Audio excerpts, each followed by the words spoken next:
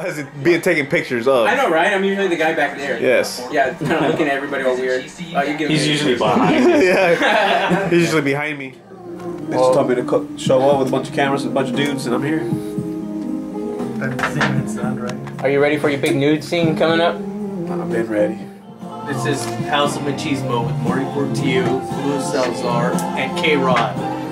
Who to his creditors? His name is Keith Rodriguez. Keith Rodriguez.